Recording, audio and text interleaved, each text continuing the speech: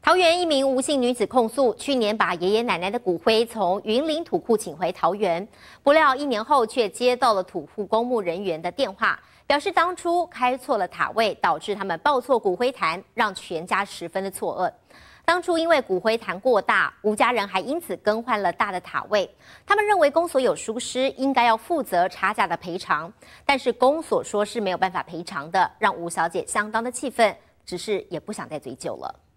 我很纳闷，那时候为什么会这样？这种东西我们不要去追究什么责任。吴姓家族这个月三号被通知拿错别人家骨灰坛，吓得赶紧从桃园回到云林，把真正的祖父母骨灰交换回来。可能嘛对梦的，无注意对梦的，这是一个阳差。吴家人控诉这起报错骨灰坛事件，是因为去年五月公墓管理员开错塔位，拿到隔壁别人家的骨灰坛。当时吴家人因为着急要回桃园入塔，以为管理员有确认编。后自己家人核对照片，却也不小心看错位置，突然搬了一个这么大的回来，就是变成再加一万五，变成四万块，比较大的骨头。哦，跟他说，那你是不是就补贴我们那个一万五？虽然事后骨灰坛调换回来了，但吴小姐不满公所收集处理，他们需要有收据才能核报。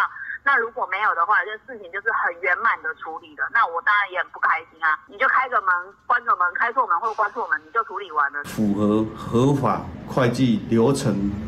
的项目之下，我们会尽全力来协助他们补偿的这些措施。吴家人认为公所行政疏失，搞得人仰马翻，也不愿再追究。而公所因为这件事，未来拿取骨灰坛时，也会请家属确认签名相关书面资料，以免再发生乌龙。结果正义，云林报道。